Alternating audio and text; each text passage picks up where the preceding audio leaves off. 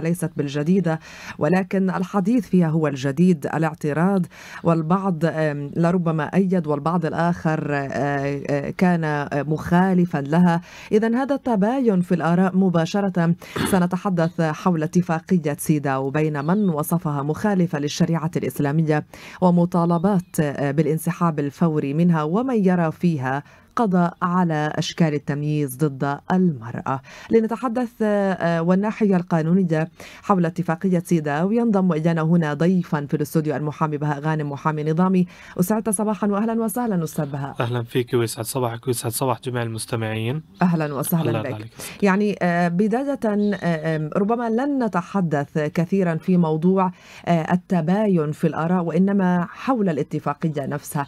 ما الذي تعنيه اتفاقية سيداو باختصار واختزال. نعم صحيح. بداية اتفاقية سيداو هي عبارة عن اتفاقية آه، دولية آه، للقضاء على كافة أشكال التمييز ضد المرأة وهي ليست وليدة آه، اليوم تم تأسيسها عام 1979 ودخلت حيز النفاذ عام 1981 طبعا غالب دول العالم وقعت على هذه الاتفاقية ومنها دولة فلسطين وقعت عليها دولة فلسطين عام 2014 ولكن للأسف وقعت بدون تحفظ يعني تكاد تكون فلسطين هي الدولة الوحيدة في العالم التي وقعت على الاتفاقية بدون تحفظ وللأسف هذا أدخلها في إشكاليات والتزامات دولية وكذلك إشكاليات على الساحة الداخلية وعلى مستوى التشريعات المحلية.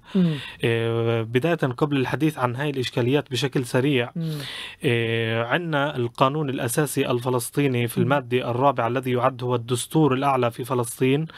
إيه، ينص في المادة الرابعة على أن الشريعة الإسلامية هي الدين الرسمي في البلاد طبعا مع احترام الأديان الأخرى نعم. وقدسيتها. وأن التشريعات تستمد من هذا من هذا القانون الأساسي وتستمد من مبادئ الشريعة الإسلامية. نعم. فبالتالي بالحديث على إشكاليات اتفاقية سيداو وحتى يعني إشكاليات التي وقعت فيها دولة فلسطين بخصوص أنه كان في فراغ تشريعي من عام 2014 هو تاريخ التوقيع على هذه الاتفاقية للعام 2017 إيه، هو أنه كان في فراغ دستوري. طبعا وغياب المجلس التشريعي أثر على ذلك. صحيح. لا يوجد كان في هذه الفترة أي محددات أو أي ضوابط أو أي قواعد دستورية للتعامل مع الاتفاقيات الدولية وموائمتها مع التشريعات المحلية.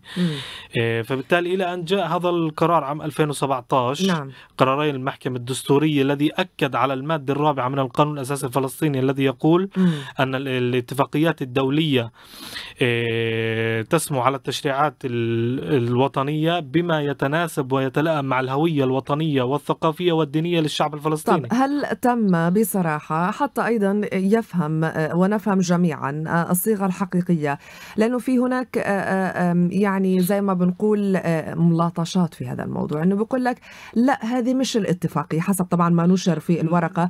هذه آه، آه، نسخة وقرارات بمشاركة من مؤسسات نسوية من ضمنها طبعا ومذكوره وهي ليست من باب التشريع إنما هي مذكورة من مركز الإرشاد القانون الاجتماعي للمرأة والمساواه وهيومن اذا يعني بصراحة هذه المراكز أو هذا ما نشر يقال إنه هذه مش الصيغة النهائية. طيب إذا في كل اتفاقية يجب أن تتوافق مع التعاليم لربما الدين المتبع نعم، والثقافة والقانون الأساسي والقانون. والمحددات آه الدستورية إذا إذا آلية اتخاذ القرار عند السلطة في توقيع الاتفاقيات ومنها سيدا وهكذا علق البعض بعد المصادقة عليها في المجلس التشريعي وبعدها إجراء استفتاء شعبي عليها ومشاورة مجتمعية مع مؤسسات وأحزاب وحركات وفصائل الشعب الفلسطيني. أليس كان هذا حري على السلطة أن تلتزم به قبل التوقيع على أي اتفاقية؟ نعم صحيح. وهذا يعني من ضمن الحلول اللي ممكن أنه من خلاله إنه يتم آه، التوافق ما بين كل الجهات المعنية في دولة فلسطين لأنه الاتفاقية إذا بدنا نحكي ونكون منصفين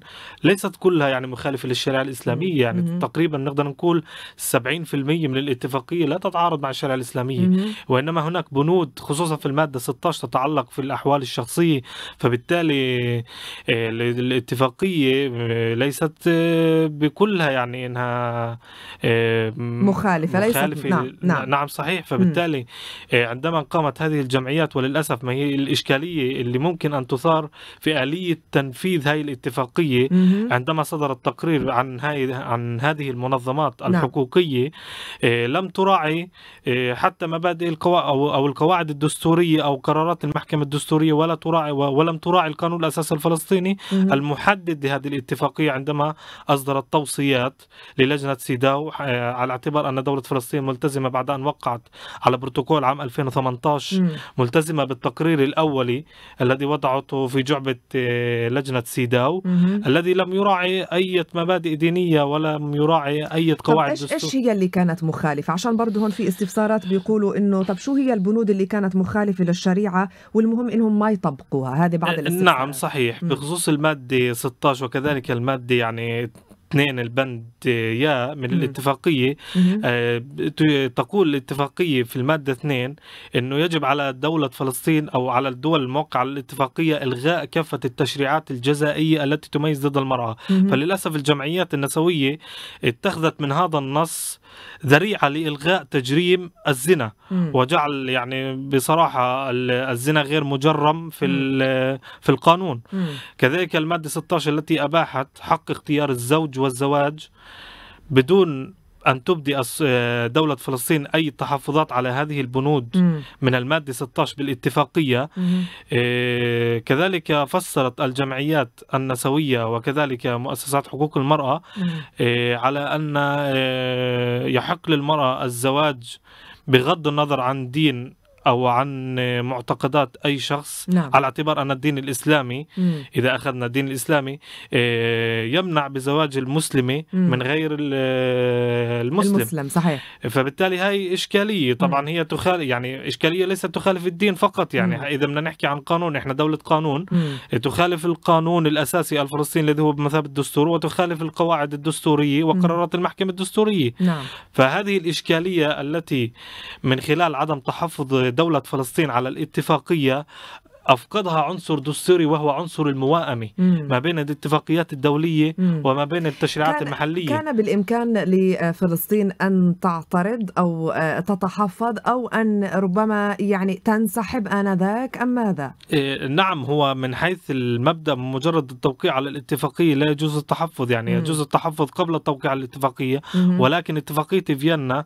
أو واتفاقية سيداو, سيداو. نعم. والاتفاقيات نعم. اتفاقية فيينا هي المحدد الرئيسي لكل الاتفاقيات والمعاهدات الدولية. أتاحت للدول حق التحفظ من تاريخ التوقيع والمصادقة لمدة سنة. التحفظ على هذه الاتفاقية. ولكن للأسف إحنا لم, لم نتحفظ. وكذلك صادقنا على البروتوكول الاختياري وصادقنا على اتفاقية فيينا. فأصبح الانسحاب منها آه، إيه، يعني لربما له تبعات تبعات قد تكون م. معنوية أمام الصورة صورة دولة فلسطين أمام المجتمع الدولي ولكن م.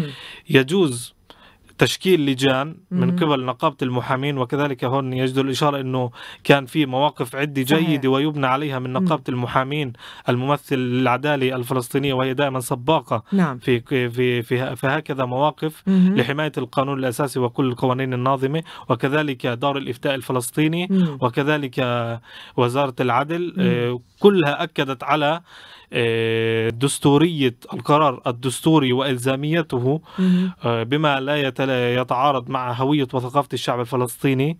وكذلك المادة 41 من قانون المحكمة الدستورية. هنا يجب الإشارة إلى هذا الموضوع أنه قرارات المحكمة الدستورية في المادة 41 بموجب قانون المحكمة الدستورية ملزمة لكافة سلطات الدولة وللكافة أي بمعنى أنها ملزمة م. للمؤسسات الرسمية والغير رسمية بمعنى المؤسسات النسوية وكذلك م. الكافة يعني م. أفراد يعني الالتزام الالتزام م. يعني هي لأنها على سلطة تشريعية في دولة نعم. فلسطين أيضا يوم أمس كان في تعقيب لمجلس الوزراء على اتفاقية سيداو حيث أمس. قال الدكتور محمد شطية قيمنا الدينية والوطنية تسمو فوق كل شيء وهذا تعقيبا طبعا على ما أثير في الآونة الأخيرة حول اتفاقية سيداو وقال قيمنا الدينية والوطنية تسمو فوق كل شيء بما ينسجم مع قرار المحكمة الدستورية ووثيقة إعلان الاستقلال وصونا لأعراضنا ووحدة مجتمعنا وسيادة القانون ويؤكد أن القانون فوق الجميع. ربما هذا أيضا هو مساند لما تتحدث عنه أستاذ بهاء بنفس الصدد ونفس الموضوع. نعم صحيح نعم صحيح. هو من ناحية قانونية مساند ولكن هناك إشكاليات واقعية لا, لا يمكن لأحد إنكارها هو أن أن المؤسسات النسوية بصراحة تستفرد في تفسير وتطبيق هذه الاتفاقية لأن لها آه، نوعا ما من النفوذ لدى الجهات المختصة ولدى القيادي.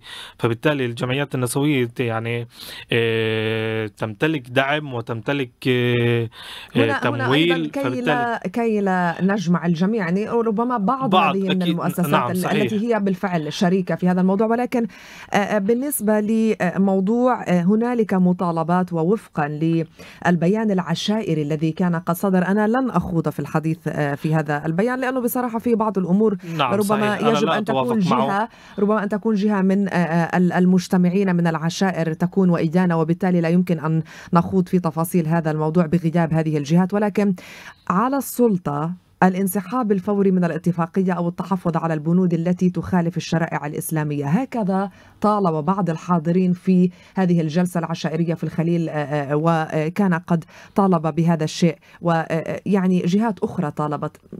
فعليا هل نستطيع أن نقوم بهذه الخطوة؟ إيه، نعم صحيح. في في اتفاقية فيينا لعام 69 أجازت بشكل عام م. لأي طرف من الأطراف وقع على اتفاقية ثنائية أو متعددة أو جماعية إيه، حق الانسحاب م. طبعا بناء على طبعا بناء على إنه يتم كتابة تقرير أو إشعار للهيئات المختصة دوليا في الأمم المتحدة وتبيان أوجه مخالفتها طبعا للقانون الأساسي وللشريعة ومبادئ الشريعة الإسلامية. نعم. وخلينا نكون واضحين يعني آه، هكذا موقف قد يكون ضعيف يعني من ناحية قانونية آه، ولكن يجيز الانسحاب. إنه في مبدأ عام في اتفاقيه فيينا يجوز الانسحاب والعودة بعد سنتين أو ثلاث سنوات. ومن ثم العودة للاتفاقيه من جديد والتحفظ نعم. على بعض بنودها. طب آه، يعني بعض المشاركات سيد جمال حوسو سعدت صباحا ويقول هذه الاتفاقية دمار وإليكم بعض بنود الاتفاقية. طبعا يرسل لنا بصورة لبعض ما جاء في هذا التقرير. إجمالا البعض قال أن هذه التوصيات التي كانت للحكومة الفلسطينية أو من أجل أن ترسل الحكومة الفلسطينية تم المبالغة فيها أو لربما تحريف و يعني كانت هنالك أياد خفية تعمل على إثارة البلبلة. هكذا تم الإفادة من مركز الإرشاد القانوني والاجتماع للمرأة من قبل الأستاذة رندا سنيورا في استضافة سابقة لها. يعني ما الذي لا يخالف الشريعة الإسلامية؟ وهنا سؤال من خلال حبتنا المتابعين بالبث المباشر عبر الفيسبوك يعني بيقولوا طب شو اللي مش مخالف للشريعة؟ إحنا عمالنا بنحكي عن المخالف. طب أنت حضرتك أستاذ بهاء ذكرت إنه 70% هي تقريبا مش مخالف.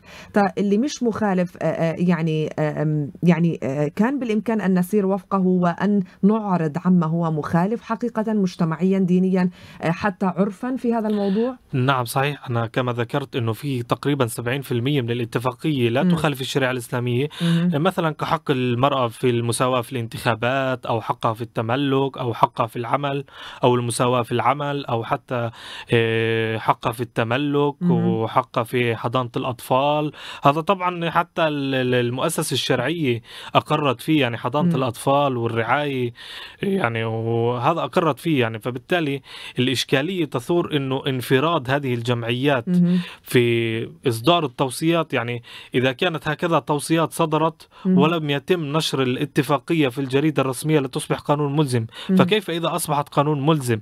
يعني هنا الإشكالية أنه لو هذه لو هذا التقرير الذي صدر عن مركز المرأة للمساواة وهيومن رايتس ووتش تم بالتشاور مع المؤسسة الشرعية ودائرة الأحوال الشرعية.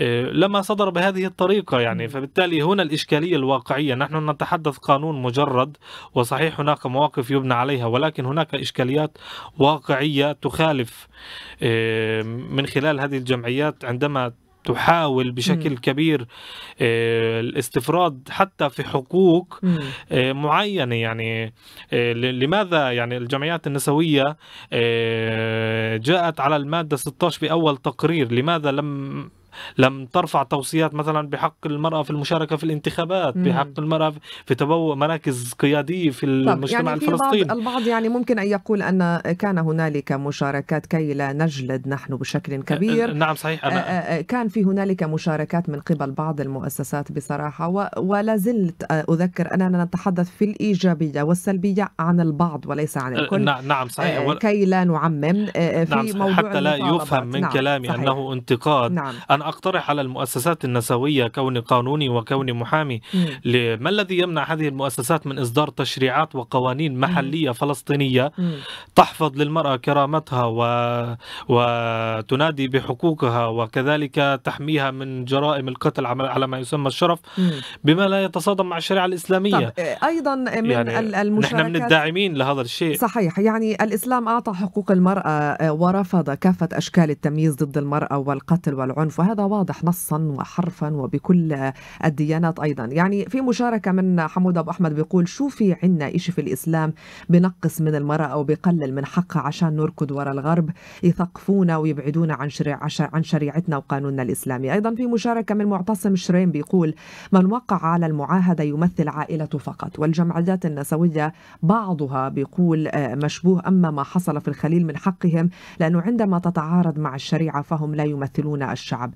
أيضا مشاركات آه، آه، البعض بيقولوا آه، يتحدث تتحدث الحكومة أن ما يتعارض مع الشريعة الإسلامية لا يتم تطبيقه. وقد تم تطبيق منع زواج تحت سن 18 رسمي 18 عام رسميا. هذه أول معارضة مع الشريعة الإسلامية.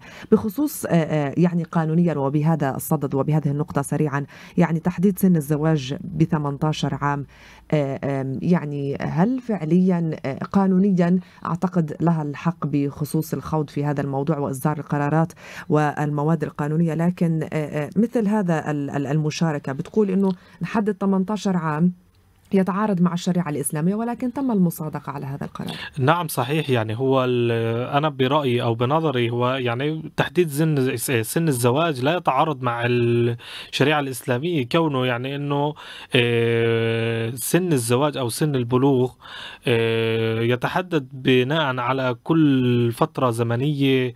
يعني قد يكون سن البلوغ قديما يختلف عن سن البلوغ. حاليا. وبالتالي أنا باعتقادي يعني هم عالجوا ال- ال- الموضوع من نتائجه وليس من أسبابه. هم باعتقادهم إنه تحديد سن الزواج ل 18 قد. يقلل. من نسب الطلاق فبالتالي أنا بنظري إنه آه، الطلاق لا يتعلق في سن الزواج يعني. قد يكون هناك فوق 18 سنة. أيضا يوجد حالة صحيح. طلاق صحيح فبالتالي إحنا عالجنا النتيجة ولا ولم نعالج السبب. يجب معالجة أسباب الطلاق أو حتى يكون إنه في توعية أو حتى تكون قادرة على تحمل المسؤولية يجب أن يكون هناك مؤسسات ناظمة شرعية مم. أنا بنظري إنه تعطي رخص معينه يعني للزواج. يعني وكأنه آه، ترجمة زي ما بنقول إنه نعالج الخطأ من الأساس نعم، مش صحيح. نروح على موضوع نقفز على النتيجة. صحيح. طيب يعني آه، آه، نلخص القول آه، فيما آه، يتعلق باتفاقية سيداو والعودة إليها. حاليا قانونيا ما الخطوات المتبعة؟ ما الذي يمكن أن نفعله بصراحة؟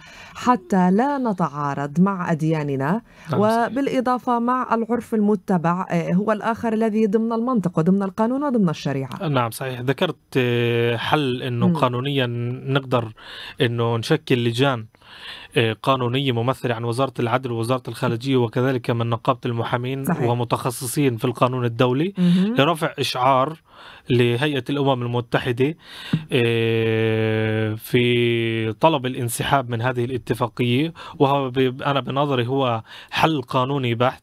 ولكن هناك حل قانوني وواقعي آه، اولا وبداية أطالب دولة فلسطين ممثلة بسيادة الرئيس محمود عباس بعدم آه، كخطوه آه، ابتدائية بعدم نشر هذه الاتفاقية في الجريدة الرسمية إلى حين مم. أن يتم تشكيل لجان من كل الجهات المختصة مم. والجلوس على طاولة واحدة من المؤسسة الشرعية ومن المؤسسة القانونية ومن ومن متخصصين في القانون الدولي من من ممثلين عن نقابة المحامين مهم. آه، وكذلك ممثلين عن جمعيات حقوق المرأة آه، للبحث في آليات تنفيذ هذه الاتفاقية في البنود التي التي لا تتعارض مع الشريعة الإسلامية وأن يكون هناك قراءة في المادة 16 التي تتعلق في الأحوال الشخصية من المؤسسة الشرعية والعمل على تطبيق ما يمكن تطبيقه بما لا يخالف عن الثوابت مهم. الوطنية لأنه معروف في الفقه الشرعي الفقه الشرعي قابل للاجتهاد مهم. وهناك يوجد أمور فيها اجتهاد لأنه ليس كل المادة 16 في الاتفاقية سيداو مخالفة للشريعة الإسلامية مهم. ف- يعني تفسيرها إذا إذا كنا نريد أن نخرج بصمام أمان بهذه بهذه المادة. بما لا يتعارض مع الشريعة الإسلامية يجب أن تقدم قراءة من ال- الأسرة الشرعية. بما لا يتعارض مع. قواعد الشريعة الإسلامية وهكذا يكون نعم قد أوفينا التزاماتنا الشرعية التزاماتنا ال- في الاتفاقية مم. أمام المجتمع الدولي ووافقنا ما بين التشريعات المحلية و- بما لا يتعارض مع يتم أخذ بصراحة المواضيع بأنها يعني وكأنها تحصيل حاصل. هذا مهم جدا أن يكون في نقاش في توعية في معرفة قبل ما يتم التوقيع على أي شيء. وبالأهم من ذلك أنه هل هي تتوافق وتتوائم؟ يعني عادي يعني إذا آه، أثيوبيا اعترضت وتحفظت إذا في دول أخرى نعم إيران صحيح. آه، دول وكذلك دولة الكيان الإسرائيلي آه، تحفظت يعني- على المادة 16 يعني أغلب دول يعني العالم. عادي جدا. ما انتقصش هذا الشيء من شأن الدول التي تحفظت على العكس تماما. هي آه، آه، ربما درست وتفحصت الموضوع أكثر بما يتلائم أو لا يتلائم مع طبيعتها مع آه، آه، بيئتها ومع معتقداتها، نعم. نعم. بشكل عام إجمالا نحن نأمل آه، في آه، القادم أن يكون هنالك تحرك إيجابي بخصوص هذا الموضوع آه، بما لا يثير آه، البلبلة والمشاكل في المجتمع الفلسطيني وألا يفتك في النسيج المجتمعي نعم،. بصراحة هذا مهم جدا إجمالا أشكرك جزيل الشكر المحامي بهاء غانم آه، محامي نظامي يسعدك. آه، دائما وأبدا نتمنى إن شاء الله أن يكون هنالك تحركات إيجابية في هذا الصدد. نعم صحيح. من قبل أيضا الجسم القانوني الممثل لكم نقابة المحامين نعم وبشراكة من جهات أخرى. نواصل المشوار الصباحي والمزيد مع حضراتكم وبالتأكيد